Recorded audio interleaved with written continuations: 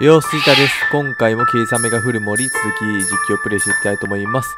前回はあざくら村の資料館についてですね、えー、いろいろ調べて何か様子がおかしいというところで終わりました。じゃあ続きやっていきましょう。あ？どこからか物音が聞こえてくる。おいおい。ここじゃない。え？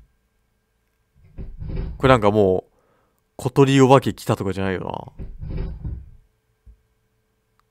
えー、っと、ロビー、ここか？どこ？これ？オッケー、これ、これか。ネックレス戻してこなきゃ。はいはい。机の引き出しから紙切れが落ちてきた。なんだろう？古いカレンダーの切れ端？あ日付に丸がしてある。カレンダーの切れ端を手に入れた。なんだ？と待って、持ちも、も、えー、持ち物。カレンダー、えー、6月12日に丸がしてある。えー、なんかすげえ物音がするな。あ、これ、もう出れなくなってるんだろう。知ってるぞ、俺は。やっぱり屋敷の中に誰かいるかもしれないし。ああ、そういうわけじゃないんだ。へえ。えー、っと、ああ、いけるようになってる。うわ、物音がちょっと大きい。奥から物音が聞こえてくる。うわ、いかにもな扉。この扉の向こうから音がしている。しかし鍵がかかっている。え？あのー、すみません。大丈夫か？話が来て。誰？扉の向こうから少女らしき声が聞こえてきた。少女か。私はその何ていうか知りたいことがあってここに来たものです。管理人じゃないのねええ、まあむしろ管理人さんを探してるんですけど。あの、あなたは？管理人さん？いや、違うだろ。管理人さんじゃないのねって言ってるから違うだろ。うん、違う。とりあえず私をここから出して。あ、んん？大丈夫か？出して。はい？隠れてたら鍵を閉められて出られなくなってしまったの本当かな？なんか、ここに封印されてるとかじゃなくて。え、どうしよう？それこそ管理人さんは？知らないっていうか、見つかりたくない。それじゃあ、発出所に連絡しようか。え？いや、発出所って望月巡査でしょ？それだけは嫌。呼んだら死んでる。おいおいおいおい、なんだ？望月巡査なんかやったのか？じゃ、じゃあどうすれば？壁にできた小さな穴から鍵のようなものが出てきた。これは？これでここの部屋の鍵を探してきて？はいはいはい。鍵を拾った。それ多分1階の部屋の鍵だと思う。お願い早く。でも、発出所には絶対連絡しないで。どうなっても知らないから。え、望月さんでも優しそうだったぞ。なんかそんな裏があるようには思えないけど、1階の鍵ね。はいはいはい。えー、っと、ここと。手持ちの鍵開けよう。なんか村のなんか秘密みたいなのありそうだな。あ、なんかすごい。住んでる感ある、ここの部屋。えー、事務用品が入っている。パソコンが置いてある。管理名簿。おー。整頓されているたな。えー、屋敷なのか、あ、いいね、ここか。2回右、これかな？手に入れた。後で謝らないとそうだね。事務用品が入っている。いや、でも本当に逃がしていいのか？なんか怪しいけどな。実はあれ、あのー、小鳥女、小鳥お化けでしたみたいな。そういうオチないよな。うんうんうん。えー、そしたら開けよう。持ってきましたよ。え？おいおいおいおい。この扉を持ってきた鍵が来そうだ。ちょっと待って。セーブさせて。はいはい。開けるか。開けよう。え？え、誰もいねえ。あ、あのー、そこにいるの？ロッカーの中かえ？どこ？思ったんだけどあなたってさ、こんなところに不法侵入するなんて頭のおかしい人じゃないよね。いや、今更っすか。まあ、お互い様だけどな、それは。どこにいんの？本棚の裏か。違うよ、そんな。ただ私は少し知りたいことがあって、たまたま。ふーん。あ、でもなんか、あ、な、なんか、お化けっぽくはないね。学生さん？もしかしてここら辺の子？そうだけどどうしたの？こんなとこに隠れて閉じ込められるなんて。別に。痛いから、痛いからここにいただけ。じゃ別に。え？家に帰るのも嫌だったし、学校の子たちに外で出会うのも嫌だったからそれだけだけど。あー、なんか、不良ってかなんか、思春期の女の子だね。ティーンエイジャーだ、ティーンエイジャー。反抗期だ。とにかく、ここにいたかっただけ。いや、なんか裏ありそうだな。そんな、でももうこんな時間だよ。家に帰らないと。言われなくても分かってるよ。うるさいな。うわ、反抗期。ザ反抗期少女。とりあえずもういい。お姉さんありがとう。開けてくれて。それより早くここから逃げた方がいいよ。閉館時間過ぎてると危ないから危ない？なんで？ここの管理人ちょっと頭おかしいよ。ちょ、マット、マット管理人？え、やっぱ、え、なになになに今の音？なんか、なんかモーニングスター引きずってるような音した今。お姉さんもできればちゃんと逃げてね。できればちゃんと逃げてね。おいおい置いてくな。え、ちょ、ちょっと。おいおいおいおい。これなんか、死亡イベント？死亡イベントってか、ちょ、一応調べていい？ここら辺。ほこりっぽい。ほこりっぽい。貝があってあかない。ほこりっぽい。ほこりっぽい。ほこりっぽい。ほこりっぽいな。掃除しろ、掃除。管理に、掃除しろ、ちゃんと。ねえ、ほこりっぽい。ほこりっぽいな。ほこりっぽいな。はい、ほこりっぽい。あ、それだけか。窓は、調べることはできない。いいか。えー、っと。はいはいはいはい。逃げるか。逃げ帰ります。あどうしたし？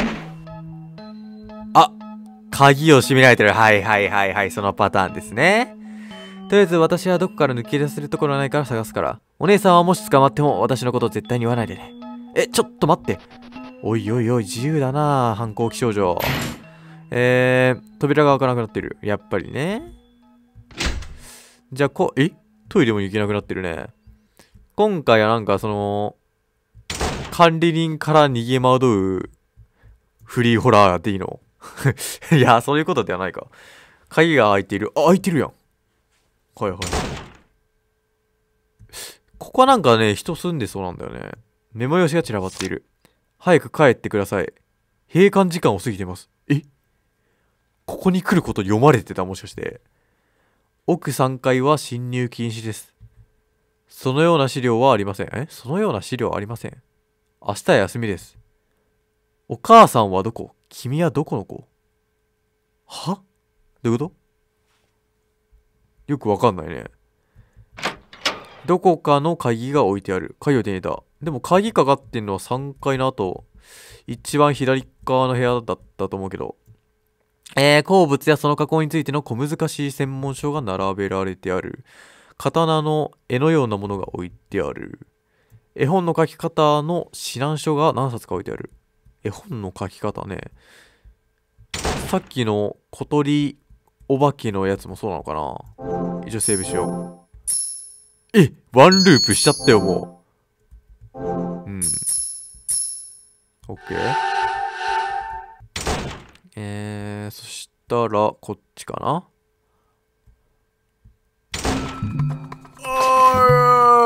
なんか持ってる。なんか持ってるね。え？刀？あれ追わないといけないの俺。あれ、マット管理人じゃない？マット管理人だけど。でもこれ開いてるか？あオッケーオッケーオッケー。あ、なんだこれ？夜光石。これ夜光石を球体にした加工、え、球体に加工したものである。大昔、村の拝様と言われる、えー、霊能賞を行っていた、えー、村民はこれを使用していた。あー、なるほど。だから、あれか、追い返すやつか。で、これ何？えー、夜光石展示室。はいはいはいはい。なるほど。地図のようだ。しかし、この資料館より後方の山、えー山間部はまともに描かれていない。まあさすがにね。えー、あざかわ村の歴史や現在の人口数などが書かれている。えー、偉人の肖像。拝神様。何代目の拝神様。随分と昔の、えー古写真のようでほとんど顔がわからない人物写真。えー、あざかわ村の偉人の肖像画のようだ。でも、うん、どうなんだ？ここにさ、こういうのあるってことはさ、実は神崎家がそれ、とか、そういう一家とか、そういうのじゃないのかな？えーと、これは？夜光石。うん、夜光石を加工した装飾品の数々。村、昔よりあ、あざかわ村では夜光石の装飾品を身につけることが習わしだった。特に村の児童に魔除けのお守りとして持たせる村民が非常に多かった。現在では加工技術者の減少により装飾品は減少している。あ、そっか。まあ、伝承だしな、ただのお化けとか。はい。夜光石を加工した装飾品の数々。昔より、えー、習わしだった。はいはいはいはい。同じか。えでももうないよね。夜光石のかけら。銀石のかけら。夜光石やあざかわ村が原産地の石である。ある特定の状況下においては発光が見られるが、その発光原因は解明されておらない。なるほど、なるほど。それだけか。はい。え？行く？絶険な気がする。あー、さすがにか。じゃあ、ここで何かするんだろうね。あこれか。手持ちの鍵で開きそうだ。ロープが置いてある。ロープを手に入れた。ロープ？ロープ？何に使うんだ？ここ？もしかして。これ？違う。しっかりふとした不透明。え？ロープ何に使うん？えー、っと、ここで？ロープ使えそうなもんないよな。左進めないでしょ？えー、ってことは、え？どこや？濡らす？ロープを濡らす？違う。えー、なんだろう。鍵、タバコは外でお願いします。黙って資料館の本を持ち出さないでください。まあ、そりゃそうだ。えー、筆談をご了承ください。筆談。あざかわ村資料館管理人。筆談な。村の遺産寄付にご協力を。おー、なるほど。ロープね。な、え？ロープ？地域新聞。こっち開かないもんね。え？トイレはこちらの階。本日接種終了いたしました。え？ロープ。ロープ。左行けない？いけるやん。上の階から、あ、あいつ死んだんじゃね？反抗期少女死んだんじゃないあいつ。ママット管理人殺されたんじゃないか。ああ、マット管理人。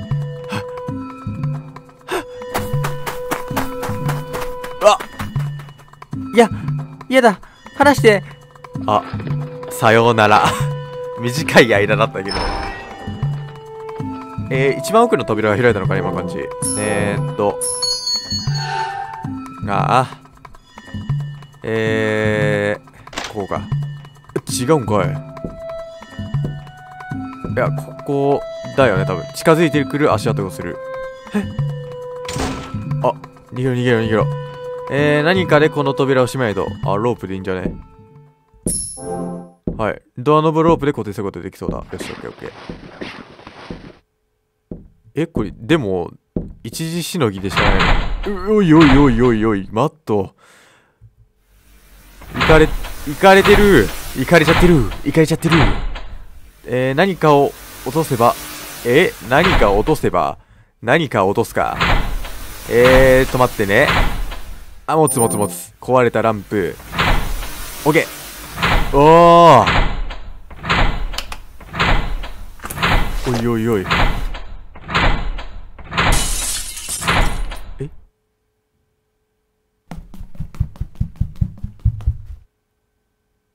言ってくれたみたい。あ、よかった。びっくりした今扉開けられたかと思った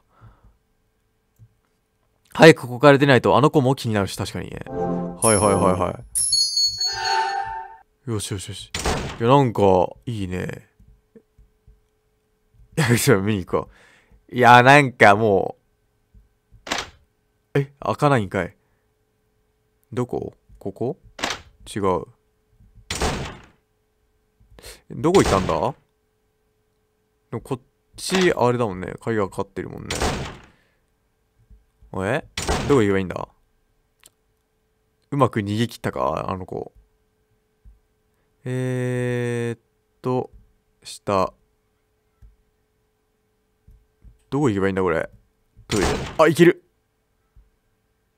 てことはこっちか。鍵がかかっているんかい。うーん、でもなんでここ開くようになったんだろう。こんなんあったっけさっき？あ、あったか。えーっと。てか結構時間やっちゃってるな。えーと待って、これどうしよう。あ、水。わ、冷たい。水はなんもないんかい、やっぱ。えーっと。鍵、鍵、これ、これか。え奥の方に小さな木箱がある。しかしダイヤルロックがかかってるようだ。えー、そうだね。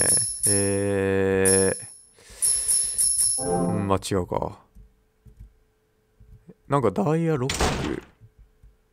なんかあったか？ここら辺にヒントあありそうだな。管理人の。これとか。3階。母さんはどこ？君の？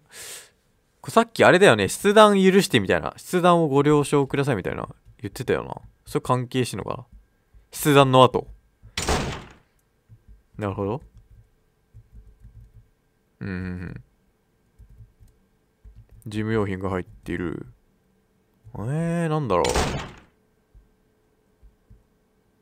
やばい。やばい、終わり時が見つからん。ちょ、やってしまう。ついやっちゃうんだ。これか。612だ。6月12か。なるほど、なるほど。はいはいはい。読めたぜ。霧がいいとこまでやってしまおう、とりあえず。えーっと、とこれが612ね。OK。木箱が開いた。中には銀の鍵が入っている。銀の鍵を手に入れた。やった。えーっと。いや、まだ終われないな まだ終われないね。相当俺カット入れて時間短くしてるんだろうな、これ。銀の鍵どこだろう。外に出れるか、これ。こっちかな俺の予想こっち。はい、来た。逃げましょう。はい、行こうよ。えー、外じゃないんだ、ここ。勝手口じゃないんだ、これ。何これ？えー、空の桶が置いてある。何これ？何か重い蓋が乗っている。重すぎて持ち上げられない。え？えー、これなんていうの？アンギャじゃなくて、まあ、わからんわ。の、えー、アンドンかな？わからん。の中には石ころが入っている。綺麗光ってる。なんでだろう少し懐かしい光な気がする。この光もあれなのかな？なんか飛行石かな？えー、まあ、来るよねどうしよう。水、水が弱点だからその桶の中の水投げるとか。もしくは火事場のバカ力で蓋をも持ってぶつけるとか。やめろ。うあ、あ、あ、あさよなら。え？どうした？目の前の男は紙切れを差し出してきた。え？は、はい。案外コミュニケーション取れる。紙切れを受け取ったそこには何かが書かれている。閉館時間を過ぎています。あー、なんだ、なんだ。普通だった。思ったより普通だった。でも、お前、でも、あの、そんな刀持ってる方が悪いと思うけどな。マット管理人。は？規則厳守。警察呼んでます。ロビーへ。いや、だって、あなたはそんな刀を持って何を？えー、模造と管理人です。いや、管理人だとしてもマットすぎるって。え？いや、なんだよ。うわ、なんか、横、横から見てくるスタイル。え？警察を呼んでおります。えー、それでは佐久間は家まで連れて帰るので、佐久間、その女の子が佐久間なのかな？まったく何度目だ、ここの管理人の菅くんも困惑してるし、親御さんも心配してるぞ。一人で帰る。別に望月淳さんにまで迷惑かける気はない。ああ、もう、だから、単純に変え、こう、強制的に帰らされちゃうから嫌だっただけね。はいはいはい。望月淳さんは別に悪い人じゃないと。そんなこと言っとらんだろ。反省しなさい。はあ、はいはいはい。あのー、ああ、そうだ。菅くん、彼女はここに用があって訪ねてきたんだそうだ。遠方から来たみたいでな。駅から俺が送ってきたんだが、もう話は？話なんてしてるわけないでしょお姉さんは怖くてそれどころじゃないよ。ほんと、ここの管理の仕方、わけわかんない。確かに、急に鍵閉めたりな。佐久間あ、すみません。あのー、まだ話して、話してないのは確かなんですけど、知りたいことは大体分かったので。おう。おお、そうか。よかったじゃないか。はい。実は私、ここの家にもともと住んでいた神崎慶一郎の孫なんです。いろいろ事情があって、それを確かめにここまで来ました。それは驚いた。それで君はこんな田舎まで来たのか。この家で血のつがつながった人間なんていたんだ。確かにね。え？ん？確かにねって今適当に言ったけどさ、なんか嫌な感じはね、なんかみんな死んでる？もしかして。どうした？帰ってください。なんでそういうこと言うの？なんでそういうこと言うの？てか、なんで喋らないの？そ、そもそも。あ、いえ、今日はどこか近くで泊まって、もしよければ明日から資料館を見せてほしいと思ってるんです。うん。いけません。帰ってください。なんで？何？部外者お断り？厚かましいとは思います。もちろんこの屋敷を欲しいとか考えてません。た、ただ、帰れ。おい、口調が、急に。なんで？でも私、どうしてもここのことを知りたいんです。うーん。この前、両親が交通事故で他界してしまって何もなくて、せめて関わりのあるこの場所のことを知りたいんです。てんてんてん。何を揉めてるんだ？うん。あどうした？うわ、意地くそ悪い。帰れだって。そうなんだよね。なんで？もともとお姉さんの家の人の建物でしょ？ここ。ちょっとぐらいいいじゃん。なんも喋んねえな。まあ、とりあえず落ち着こう。